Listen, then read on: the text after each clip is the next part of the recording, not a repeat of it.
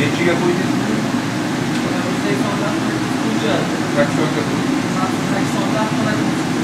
Qo'qon shahrida maktablardagi harorat nazorat qilib borilmoqda. Qo'qon shahar hokimi Ma'rufjon Usmonov 27-davlat umumiy o'rta ta'lim maktabidagi qozonxona va xonalardagi haroratni ko'zdan kechirdi.